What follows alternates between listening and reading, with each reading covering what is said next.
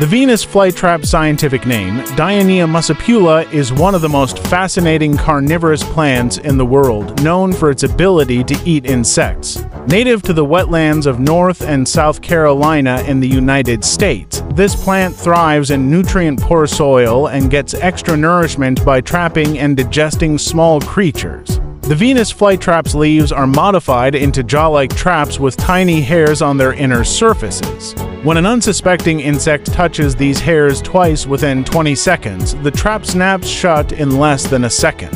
This rapid movement is one of the fastest in the plant kingdom.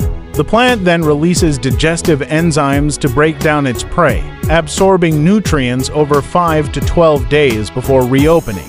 Interestingly, the traps are selective. They can distinguish between living prey and non-living debris like raindrops or leaves to avoid wasting energy. Each trap can only close about 3 to 5 times before it stops functioning and dies off. Despite its reputation, the Venus flytrap doesn't rely entirely on insects for survival. It still photosynthesizes like other plants. Its unique adaptations have made it a popular plant for science and gardening enthusiasts.